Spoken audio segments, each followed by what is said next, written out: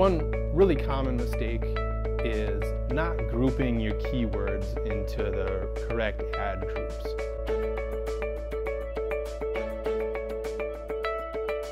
Uh, an ad group should really be a concise collection of keywords matched up with one or two ads that is really focused on just that keyword. So you're not going to want to have red shoes and yellow shoes and blue shoes all in the same ad group because what's your ad going to say? Hey, buy our red shoes and our yellow shoes and our blue shoes? No, that's a stupid ad. What you're going to want to do is have one ad group for red shoes. Then you can have an ad that says, buy our red shoes. Have another ad group for blue shoes. That ad is gonna say, buy our blue shoes, and so on.